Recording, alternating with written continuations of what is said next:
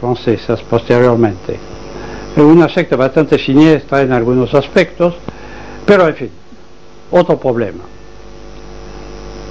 Los templarios simpatizaban con los cátaros y les había tomado esta idea de los dos dioses. El dios malo había creado el mundo material. Su creación, por lo tanto, era mala. Y el dios bueno, que era el dios del espíritu, el dios de la luz, este dios bueno quiso rescatar a las almas inmateriales de los hombres. Y para eso les mandó dos enviados. Uno era un arcángel eh, preferido de Dios que se llamaba Lucífero, que los eh, cristianos ortodoxos consideran como el demonio. Para ellos no, era un enviado de Dios. Y el otro era Cristo. Cristo que por supuesto, siendo inmaterial, no tenía cuerpo, sino una apariencia de cuerpo. Y no fue crucificado, se lo reemplazó por algún criminal cualquiera. Pero los dos enviados representaban en la tierra el elemento determinante para que el alma humana se desintegrara, se separara de su cuerpo. La salvación se producía no por las obras, sino por el éxtasis. Y el éxtasis no era sino un don de Dios que penetraba directamente por intermedio de sus enviados en las almas de los humanos. Entonces, derivación del asunto que es muy importante en cuanto al temple.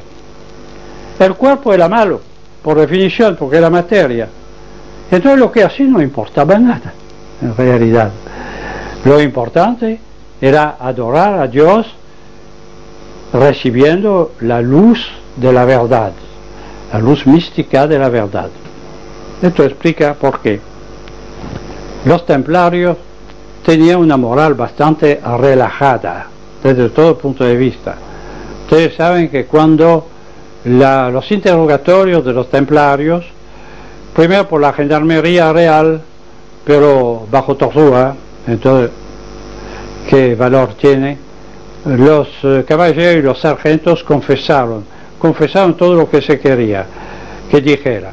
Confesaron que en la ceremonia de su iniciación tenía que pisotear el crucifijo. Confesaron que tenían relaciones homosexuales dentro de las encomiendas. No es inverosímil de parte de soldados que habían vivido allá en el cercano oriente y aquí en el contacto con la mujer, por supuesto, era diabólico. No, es, no está probado tampoco. Bueno, confesaron, confesaron, confesaron. Pero confesaron también en Inglaterra, donde no se les aplicó la tortura. Confesaron en el tribunal eclesiástico, presidido por el Papa personalmente, sin tortura alguna. Es cierto que podían temer que después de la audiencia se les hiciera pagar su retractación. Puede ser. El hecho es de que practicaba la usura la usura era un pecado eh, excepcional en aquel entonces. Ahora está muy generalizado, pero en aquel entonces no tanto. Voy a decir, e, era una orden que, se había, que había abandonado el rigor de una regla que además no conocemos muy exactamente. La el temple, por lo tanto, se llevó verosímilmente sus archivos más allá del océano. A México no es imposible, porque en México precisamente encontramos la prueba de la deformación teológica de la orden. En efecto, los templarios como los cátaros admitían la dualidad de los dioses y tenía las prácticas extrañas que creemos saber. Pero en México, en el año 1307, el año precisamente en que el Temple de París quedó en manos del rey de Francia, en que las carretas de las encomiendas llegaron a un puerto donde las esperaba 17 barcos que nunca reaparecieron en ningún lugar.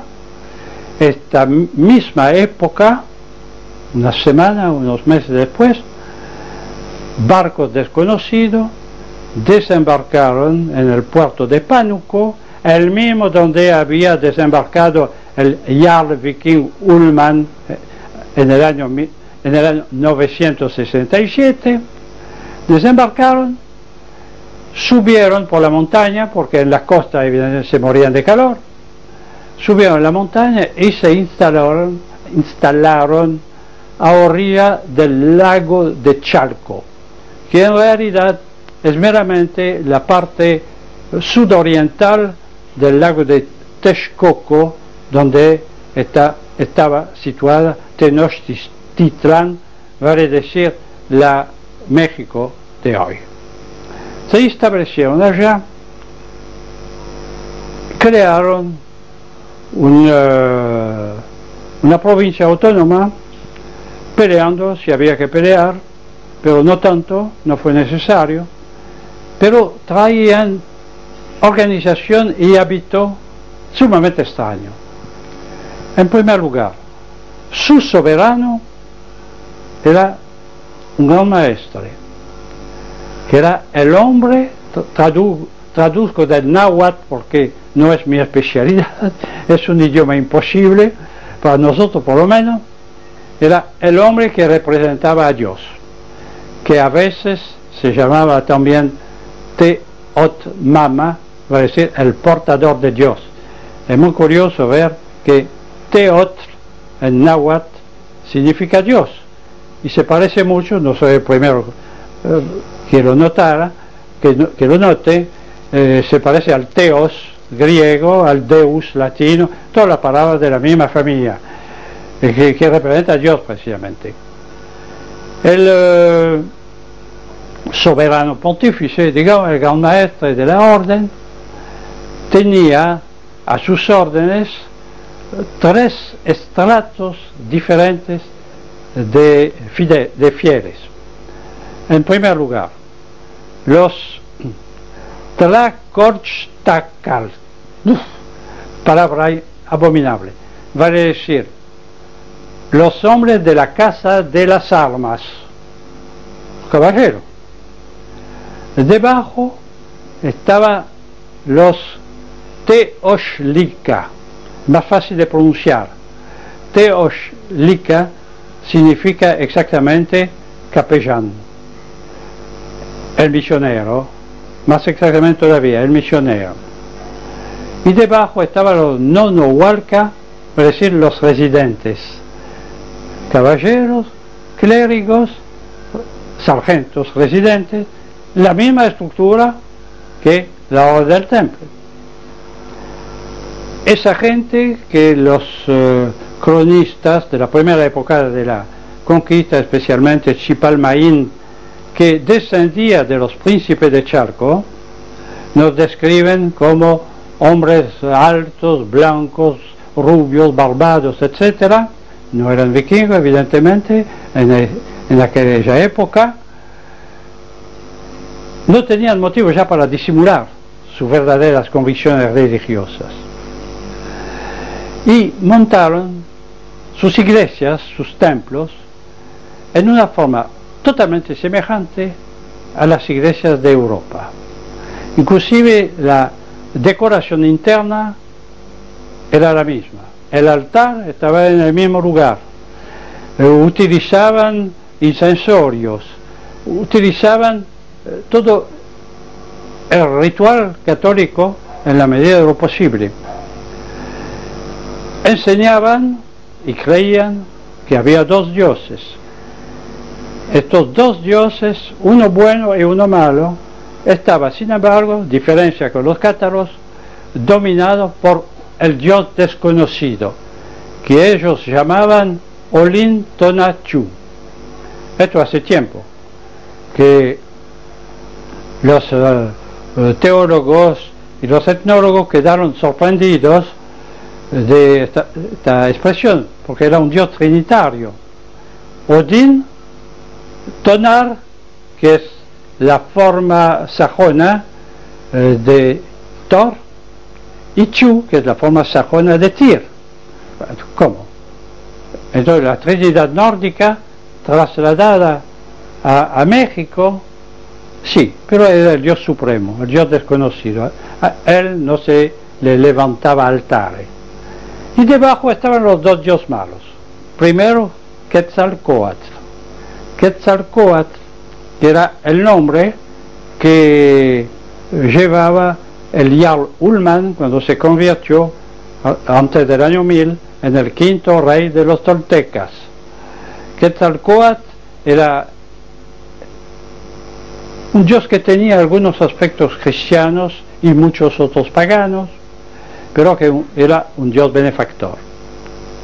El otro era Tezcatlipoca. Tezcatlipoca era el dios malo.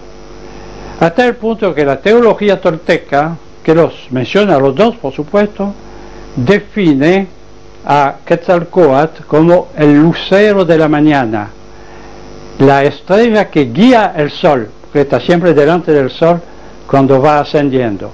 Mientras Tezcatlipoca es el lucero de la noche, que guía el sol hacia su perdición. Bueno, los uh, charcas invierten todo el proceso. Para ellos, el Dios bueno es Tezcatlipoca. Exactamente como los cátaros y los templarios hicieron con respecto al famoso Baphomet de los templarios, es decir, a Lucífero. Lucífero ya no era el demonio malo, sino un enviado del Señor, bueno. Bueno, Tezcatlipoca también. Los presentan como hermanos enemigos, etcétera, etcétera.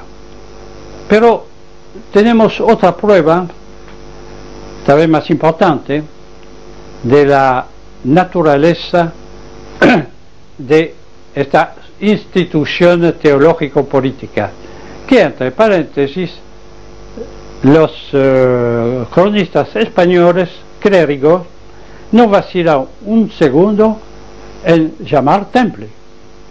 Para ellos, los charcos eran los templarios. Efectivamente, se englobaba en una sola palabra, en uh, náhuatl, la orden con el nombre de Tecpanca. Telpanca o Telpantlaca significa templar, los hombres del templo. Y el padre de Sahagún, que fue sin duda alguna el cronista español eh, más serio y más científico, los llama también así, los templarios. Y estos eh, templarios tenemos prueba